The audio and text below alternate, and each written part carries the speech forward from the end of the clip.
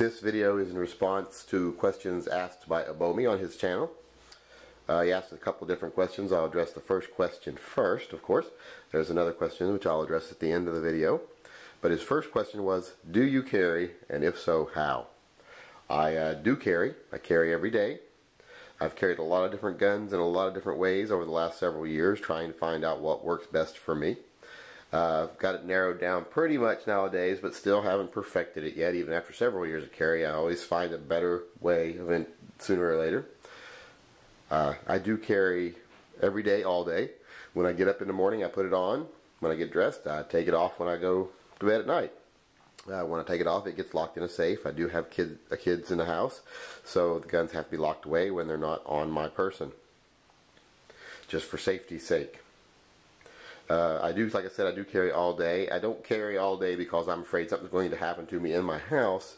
I just do that because I'm a little scatterbrained, absent-minded. If I took my gun off every time I came in the door and had to put it back on every time I went out, probably 60 70% of the time I'd be leaving the house with no firearm, which would be safe probably. Uh, chances of needing it pretty slim, but uh, always of the mindset that I would rather have it and not need it than need it and not have it. Uh, plus, there are some areas in our area where I would not go unarmed. We have a couple of big malls that we go to regularly that uh, have a little bit of a gang problem over in downtown Portland. Uh, but most of the areas I go are pretty safe. I stay over here in the suburbs. But still, I do carry, carry every day. And uh, in this video, we'll discuss what I carry, how I carry it, and then at the end, we'll answer another question. So let's get moving. A major focus of this video is going to be how I carry. We've already established that I do carry, so now we'll discuss how. Uh, I always concealed carry. I never open carry. Uh, I'm not morally opposed to open carry. I've seen people around here do it. Doesn't bother me. I have open carried in some situations myself, like hiking or camping. Uh, I just would not do it in everyday life. Uh, I feel, I don't, like I said, I don't have a moral objection to it, but I do have a tactical objection to it. I think that an advantage is only advantage if you don't give your enemy uh, the uh, ample opportunity to counter that advantage. And so why would I give away the greatest advantage I would have during a possible confrontation, and that would be that I'm armed. Uh, I just feel that's not a smart thing to do, so I don't open carry. I'd like to keep my advantages secret, let people not know what I'm doing. I do carry uh, multiple different item guns. Uh, I'm not one of these people that thinks you can have one gun for every possible scenario. I just don't think they make such a gun. So I think you need different guns for different times. You, I don't dress around my gun. I, I produce a gun to fit the way I'm dressed. I feel when you start dressing around your weapon, you start to become obvious. So I try not to be obvious. I'm not so concerned about being made. Uh, not like when I first started carrying. When I first started carrying, I was very concerned about bumps and printing. And nowadays, I'm just like, people don't pay any attention. Uh, we were at a local restaurant, Pig and Pancake, the other day, and I had come back from the bathroom, and my uh, cover garment had pulled up over my gun. So I was basically open carrying for like an hour in a restaurant. Uh, not a single person noticed, not even the five other people I was with. Uh, only I noticed when I started to get up that my shirt had been tucked under my gun. No one else ever said a thing, noticed, or even made contact, eye contact with the gun that I could notice. So people just don't pay attention to you. But like I say, I've tried different methods. I've tried shoulder holsters. I've tried inside the waistband, outside the waistband, uh, packs, everything. I'll discuss as much of that as I can here. Address as much of the issues with each that I can. Uh, address which guns I carry. And uh, we'll get on to it. Okay, uh, let's deal with one carry method that I first started with. I first started carrying, I always carried outside of waistband, or OWB. I carried with multiple different types of holsters. Uh, carried with holsters with thumb breaks. Carried just regular like little Don Hume belt slide holsters. Carried big paddle holsters with the thumb lock. This is good for big heavy guns. Keeps them concealed. They don't fall out if you bend over or anything like that. Uh, one of the biggest issues I found when I first started carrying was carrying holsters that were a little too loose, and then when you'd have to jog or run, they'd kind of want to bounce out of the holster. Uh, but outside waistband has its advantages. It's much more comfortable uh, to, for just standing and walking around because it's not held tight against your body by your belt like it is when it's inside waistband. Uh, it can be more cumbersome. It's easier to hit it on things. Uh, it gets in the way when you sit down try to put your seatbelt on. Uh, it just it sticks out a little further, so it's a little harder to conceal. You can carry some pretty big guns that way. Uh, and if you're in a situation where you're not worried too much about concealment, I'll still carry outside waistband if I've got the right clothes on.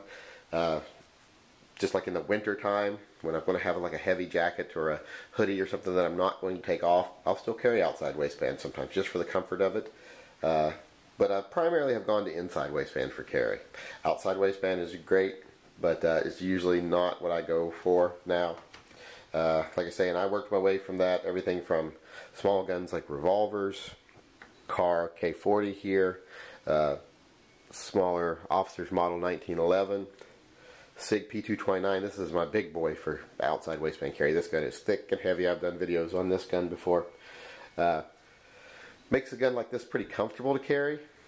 Uh, and like I say, it conceals pretty well under a hoodie or something. You're, you're going to see a bulge there, but uh, no one's going to know what it is. Pretty bulgy clothes in the winter anyway, so no one's going to pay any attention whatsoever. So I like the outside waistband for some of these big guns. They are more comfortable. Not doesn't feel secure to me. I mean, it is as secure, but you really need a strong belt when you're outside waistband carrying because all the weight is on the outside of the belt, so it will sag, it will droop, you know. So you really have to have it good and tight, have a good solid belt for outside waistband carry. Inside waistband carry, that's not such an issue, but outside waistband carry, need a solid belt, especially if you're going to carry a big heavy gun like this one. Now we'll discuss my preferred method of carry, and that is inside the waistband, uh, IWB.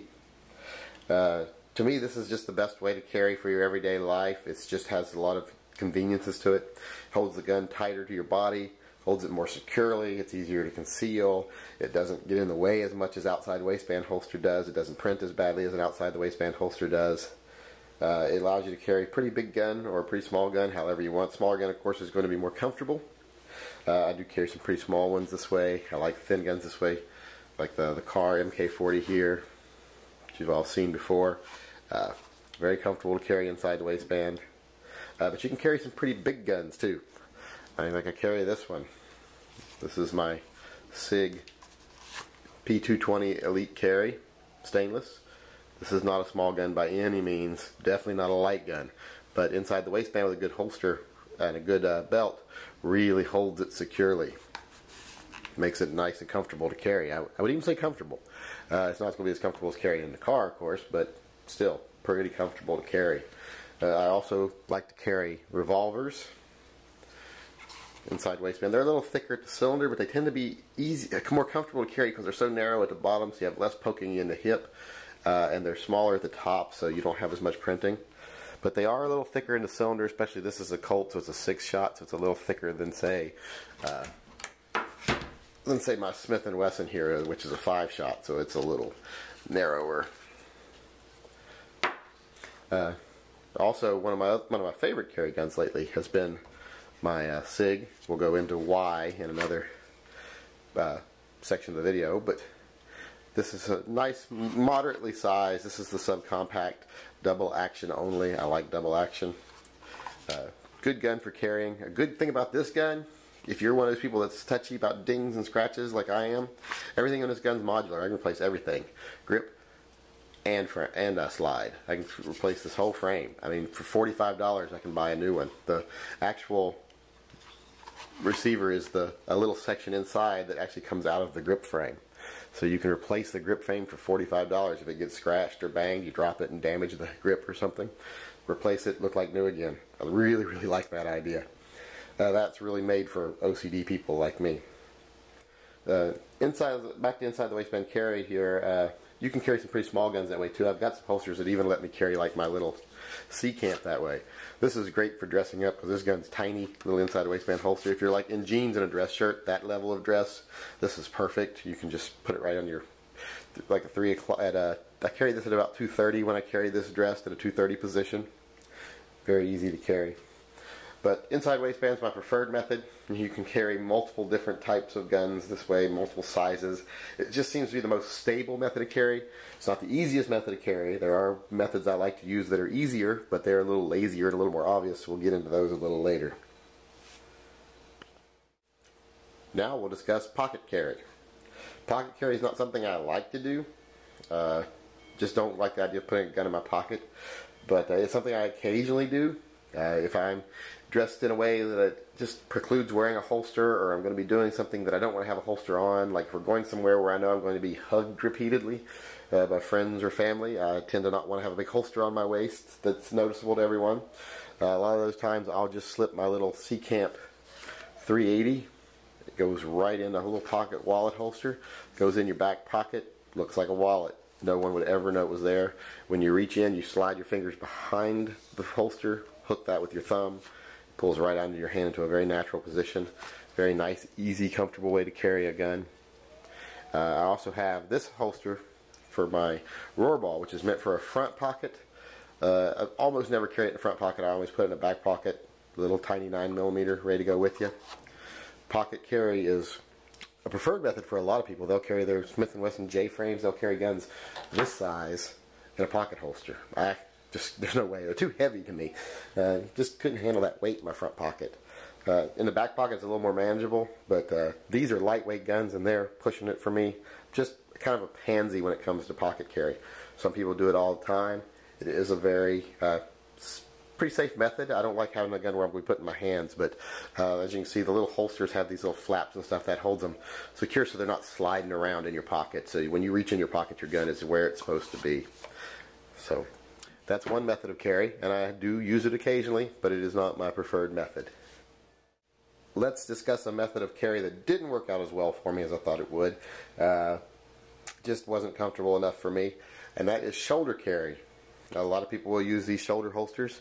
They're nice in some ways. They go under a jacket. If you're dressing like in a suit jacket every day, they're a good idea. If I don't do that, so they didn't really work out for me. they're a little harder to access under like a hoodie or something because you got to reach all the way up to your under your shoulder blades to get. I mean, under your armpit to get it. Uh, so it didn't work out for me. Uh, I do keep it. They're nice. You know, they hold the hold the gun. They have a place if, for either a different magazine, for an extra magazine, or for reloaders. I always add a little clip on one side to stabilize them but uh, just didn't work out for me. I do keep this one around. This one is for my uh, Walther PPK. I keep it around for one reason, and that's Halloween. If you dress as James Bond, you have to have your PPK in a, in a shoulder holster. So I still keep it around. Serves a purpose for me. Works out for a lot of people. Doesn't work shoulder holster carry does just doesn't work for me as a method. Gave me a headache a lot too. I noticed a lot of shoulder strain, neck strain when I carried this way. So just not a great method for me. Now here's a method of carry that tends to be a bit controversial with some people. Uh, I use it quite often. Uh, it's a waist pack carry. I carry this a lot at the gym or if I'm dressed for the gym.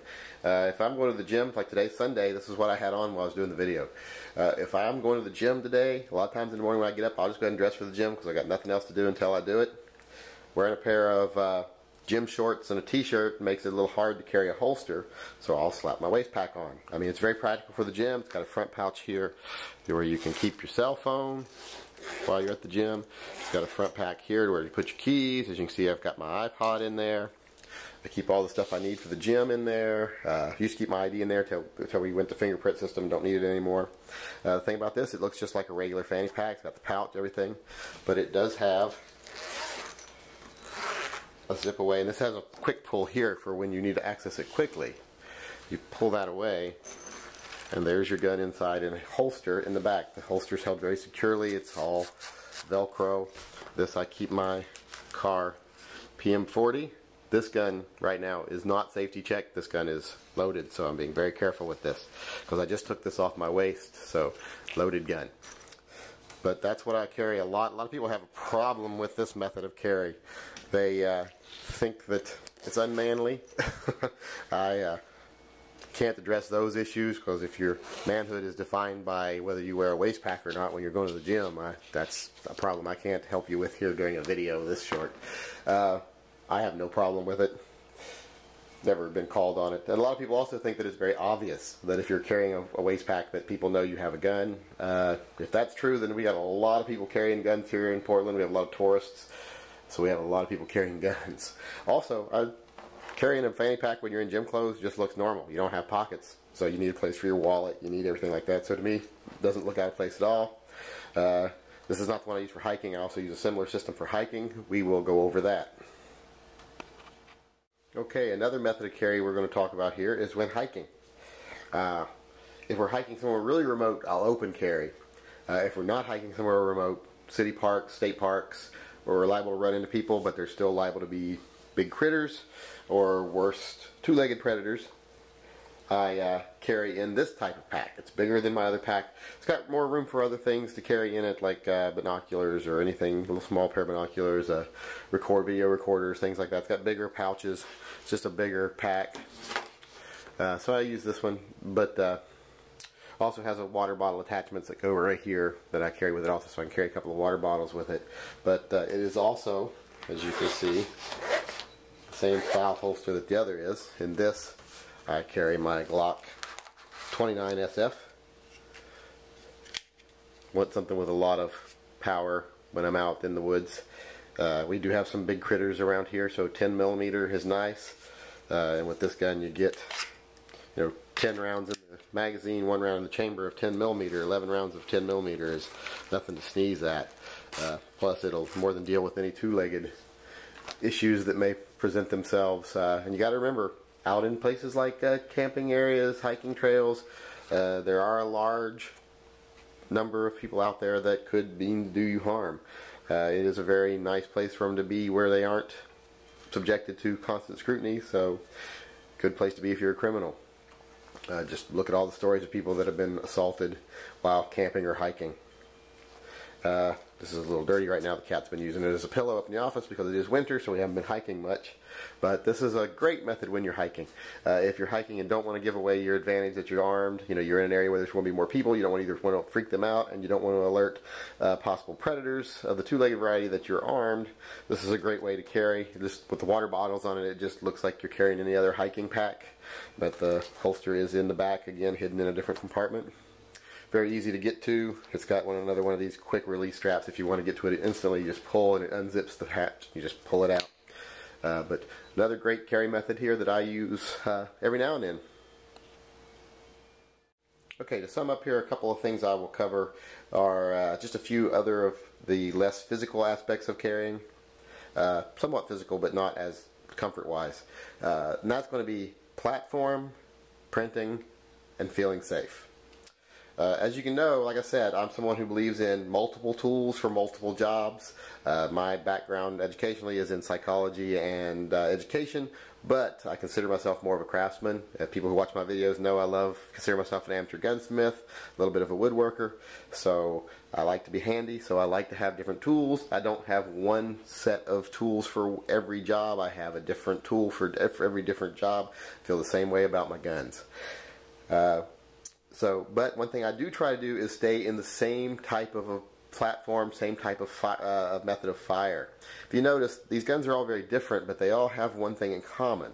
They're all pull the gun, pull the trigger. That's all you do. The Kahr, very uh, nice, smooth revolver, like uh, almost like a double act, light double action trigger.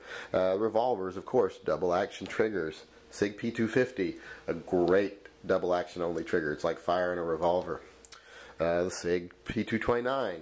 Just pull it out, pull the trigger, double action revolver. You also have a single action on follow-ups on this. But first, give the first uh, shot is pull the gun, pull the trigger. Works every time. Kind of a kind of a deal. Uh, don't like to get into safeties. Uh, you did see that I have shown during this video uh, some 1911s. I used to carry 1911s. I have quit carrying 1911s because not the same platform as these. And I'll discuss that a little bit when I get into what you feel safe with. But uh, moving on to printing, as you can see, these are all different types of guns. Uh, printing is something that first-time carriers are super concerned with, like I spoke about earlier in the video.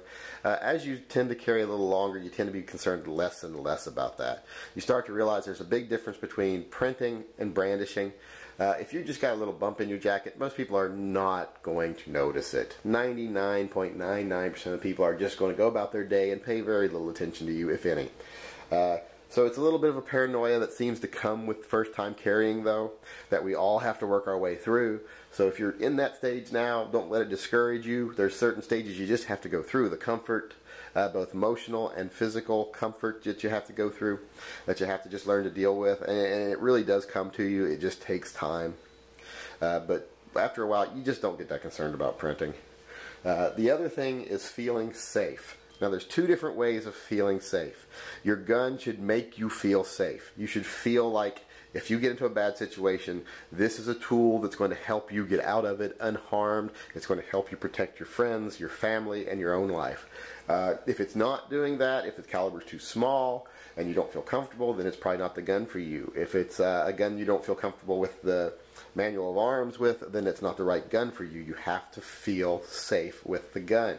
Uh, there are, I'm a person who I feel comfortable with anything 380 and above. Some people wouldn't carry anything less than a 40. Some people wouldn't carry anything less than a 9. Some people will carry a 45 or a 10 millimeter and that's all they feel safe with. It's all personal preference. Uh, I often carry that Walther PPK you saw. Not the biggest caliber in the world, but that gun is so accurate and I shoot it so well, you know, I can hit tiny targets at 30 yards with it with very little effort. So if I can place a shot that well with it, it's going to serve me really well. So I feel very comfortable with it. It's mostly about shot placement. Uh, so just feel comfortable with your gun, feel safe with your gun. Don't let anyone else tell you what gun is right for you. Always decide that for yourself. I tend to prefer revolvers, but I've moved to semi-autos a little bit because of them being thinner. But I've actually found that even though they're thinner, the revolvers, like I said earlier, are more comfortable because they're thinner at the bottom and the top, so they don't poke you in the love handles or in the thigh as much as some of the semi-autos do. Uh, once again, that'll be your own personal preference also. The other aspect of feeling safe is do you feel safe handling the gun? Is it something that you trust yourself with? If you don't trust yourself with a gun that has a light single action trigger like a 1911 here, you know, if you don't trust yourself with that, you know, you, you, you don't want to carry it. Uh, I quit carrying 1911s because I didn't feel safe with it anymore. Because while I was doing some drills, some fast draw drills, I found myself occasionally pulling the trigger before I released the safety because it's not a gun I train with very much. So that made me feel unsafe. Even though it only happened a couple of times, I'm like, well, you know, it only have to happen once for it to cost me my life. So I just don't carry 1911s anymore. It's not that I don't feel 1911s are a safe gun. I'm not safe with a 1911 because I'm not properly trained with one. Uh, that's why I have gone to the double actions. I've grown up with revolvers. I'm more comfortable with revolvers. I'm more comfortable with double action. I actually shoot a double action better. I find that with lighter trigger pulls, I tend to squeeze too hard, shoot right uh, and uh, shoot low and left. Uh, just because I'm not used to compensating for that light trigger, I'm used to putting a little more effort into a trigger. So feel safe with what you carry. If you feel safe with a double action, carry a double action. If you feel safe, safer with a light trigger, carry a light trigger. Just there's like I said, two ways you need to feel safe. You need to feel that your gun can protect you, but you also feel need to feel that you don't need protecting from your own gun. Uh, so that's the, some of the biggest aspects of concealed carry for me. Uh, I hope this video has been educational, if not educational, at least entertaining. And once again, thanks for watching. Uh, this is the Yankee Marshal.